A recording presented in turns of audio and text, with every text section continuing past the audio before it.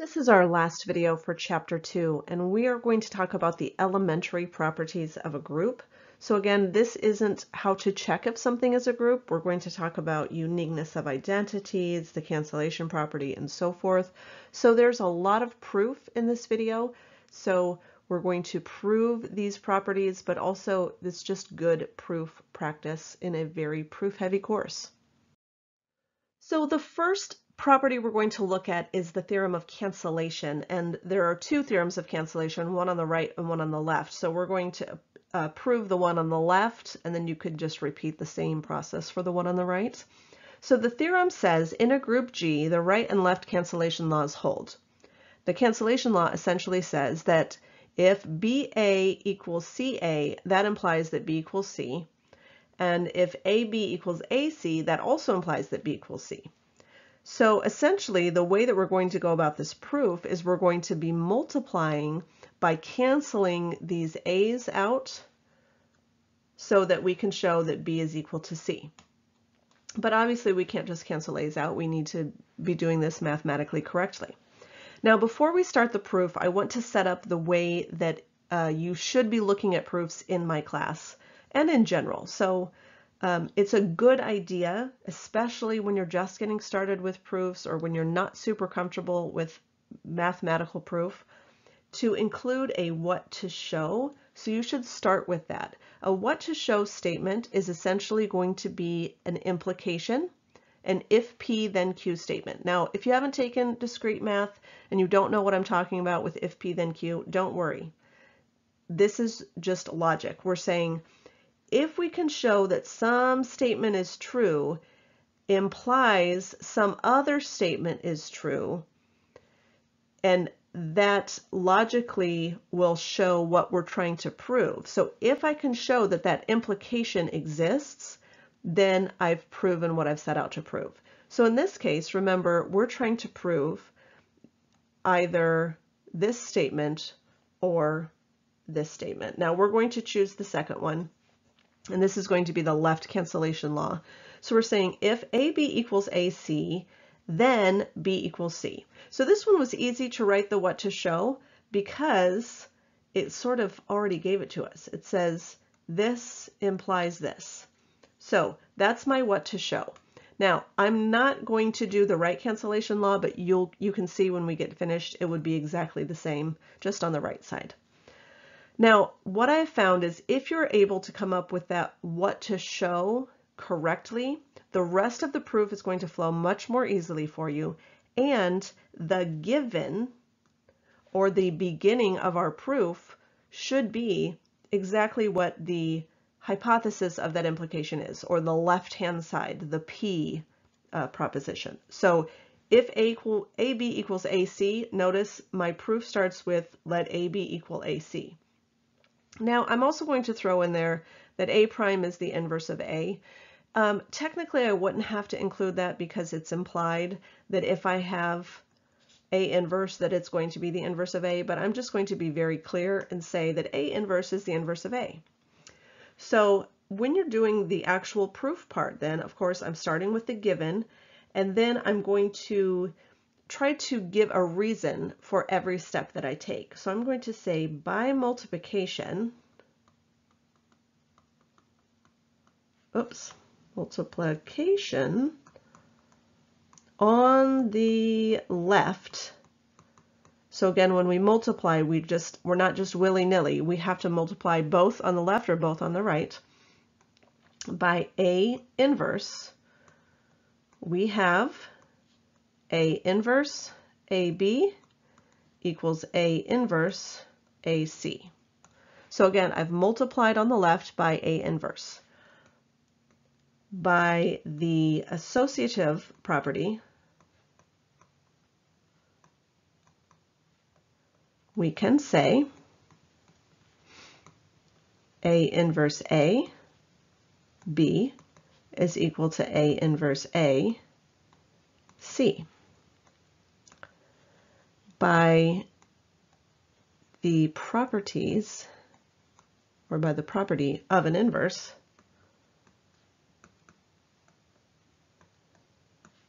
A, A inverse, sorry, A, A inverse equals A inverse A equals E. So EB equals EC. And therefore, by the property of the identity, because obviously E is the identity, B equals C, because the property of, of the identity, and again, you can include that property, property of the identity. Um, so I'm going to make this very, very um, clear, which tells us um, EB is equal to B, we know B equals C. So again, I've done a little bit extra here. So I'm saying um, the property of the identity tells us this, the inverse tells us this. So I've included stuff that maybe isn't necessary, but I find it's never bad to include extra information. It's always bad to not include enough information. So this is a, a very clear proof of the theorem of cancellation. And again, we could do the exact same thing on the right side. It would be the exact same proof. The next property is the uniqueness of identity. And the uniqueness of identity says essentially that there's only one identity element in a group. Now, before we get started on this particular um, proof, I do want to point out that uniqueness proofs often assume two of something and then set out to prove that those two somethings must be the same. And that's exactly what we're going to do here. I'm trying to show that there's only one identity. So I'm going to assume that there are two identities and then prove those identities are the same element. So you might be thinking, where did she come up with what to show? Because that's a really difficult thing to do. Well, I used the fact that a uniqueness proof will often assume two of something to show that those two things are the same, and I used the definition of an identity element. So I have the definition of the identity element that says if A equals A for all of G. So this is the definition of an identity, that AE equals A, and in fact, you could say A, sorry, AE equals EA equals A for all A elements of G. So that's essentially the definition of an identity. And I'm saying A is an identity, and I'm saying, I'm sorry, E is the identity, and also E prime is the identity. So I'm basically saying there's two identities, and then I'm trying to prove that that shows that E and E prime must be the same. So the good news is we're going to use the cancellation law that we just proved, which is going to make this proof very straightforward. So my given, I could just say, let E and E prime be inverses. So I don't need to rewrite all of this because I do have it up here on the what to show. So I can either say let them both be inverses or I can rewrite it just as I did. So I can say since AE equals A and AE prime equals A, then by substitution, AE equals AE prime. By left cancellation, which we just proved, so now I don't have to reprove it, by left cancellation, E is equal to E prime. So I could go through the whole rigmarole and show that A inverse AE is equal to A inverse AE prime, and that gives me EE equals EE prime, and then E equals E prime. But do I have to? No, because I just proved the left cancellation law holds that says if you have the same element on the left side, you can cancel it.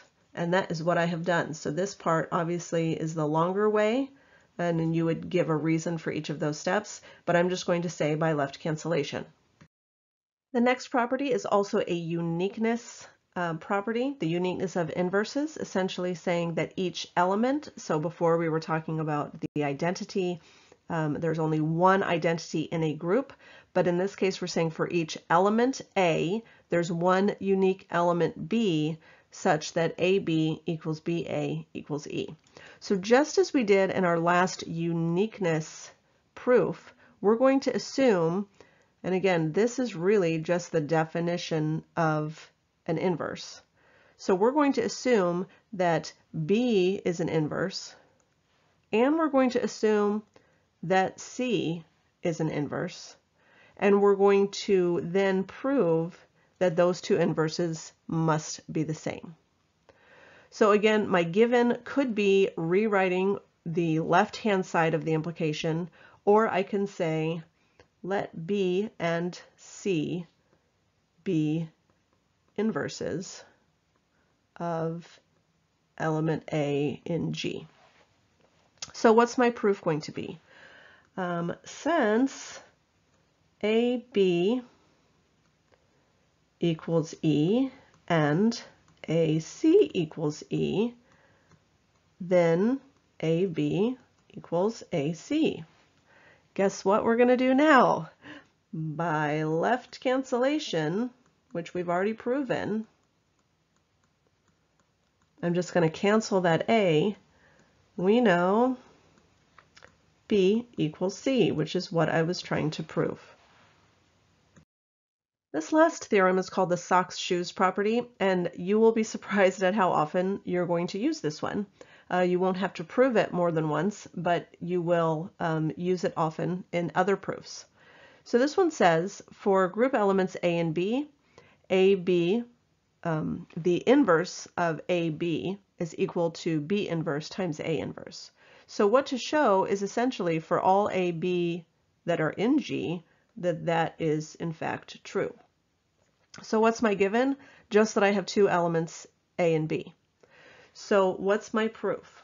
Well, since an element times the inverse of that element is equal to E, and remember what I'm trying to show, that this element, AB inverse, is equal to B inverse A inverse. And so all I'm going to do is do some math with B inverse A inverse. And hopefully by the time I'm done, I end up at E. So let's take a look and see if we can get there. So if I have AB times B inverse A inverse, then I can rewrite that with the associative property as A, B, B inverse, A inverse which gives me A, E, A inverse, which gives me A, A inverse, which gives me E.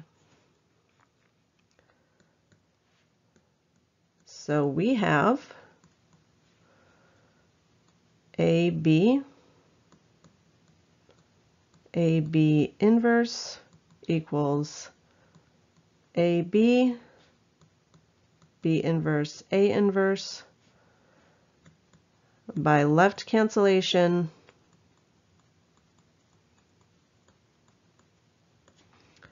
AB inverse is equal to B inverse A inverse. So that's all for the proofs for this section, but we did want to talk about just one more need to know and that is talking about the notation for a multiplicative group versus an additive group. So a multiplicative group where the operation is multiplication, obviously will be written in either way that we are familiar with multiplication, whereas the operation for an additive group would obviously be to add. Looking at the identity, the identity for a multiplicative group is usually written E or 1, whereas the identity for an additive group is 0. If you add 0 to something, you end up back where you started. For inverses, um, A inverse is the way that we're going to denote that. And remember that means 1 over A, which makes sense because if I took A times 1 over A, I would get back to the identity, which is 1. Whereas the inverse for an additive group is negative A. Again, 5 plus negative 5 would give me 0. For powers or multiples, we would say a to the nth power as opposed to n times a. And then for division or quotient or difference, we're looking at a b inverse. Remember that's a times 1 over b, which would be a divided by b, and or a minus b for a difference. So a typical question you might get related to the two notations is to rewrite the multiplicative expression into additive or vice versa. So if I were looking at the multiplicative expression, let's just look at the ab squared first. ab squared by itself, if I were rewriting it, would just be a plus 2b. But because we now have this negative 3, still in multiplicative notation, let's write that as a to the negative 3, b to the negative 6, and then c squared equals e. So this is still multiplicative notation, but notice what I've done is I've distributed um, the exponent, so a to the negative 3 and b squared to the negative 3, which would we would multiply those two values. So now rewriting it in additive notation, this negative 3 exponent would become negative 3a, and then negative 6 exponent would be minus 6b, so minus 6b, and then the positive 2 would make it plus 2c, and then what is the identity in the additive group? Not e, but 0. So this would be my revised expression. The last example I want to go through with you has to do with group properties of exponents. So it has to do with exponents, but also with um, the inverse. So what we have is we have a group, and A, if we perform A five times, we get back to the identity. And if we perform B seven times, we get back to the identity. We want to rewrite A to the negative second, b to the negative fourth without using negative exponents. So how are we going to do that? Well, first, we're going to say this is the same as a inverse squared. So essentially taking out that negative exponent. And this is the same as b inverse to the fourth. So that leads us to the question, what is a inverse? Well, a inverse means what am I going to take times a to get back to e? Well, I know that I would have to take a times a to the fourth to get a to the fifth, which is the identity. So I'm going to replace a inverse with a to the fourth. And in the same way, looking at b to the seventh is equal to e. So what is b inverse? b inverse is going to be what would I take times b to get seven b's. So I would need six more b's to get seven b's. So that would be b to the sixth to the fourth. From here, I'm going to go ahead and use the normal um, property of exponents that says this is a to the eighth, 4 times 2, uh, the power of a product, I believe, property, um, b to the 24th. And then from here, what I'm going to do is essentially take out groups of 5 a's. So if I have a to the 8th, that's essentially like a to the 3rd times a to the 5th. And if I have b to the 7th, that's like b to the 7th and b to the 7th and b to the 7th and b to the 3rd.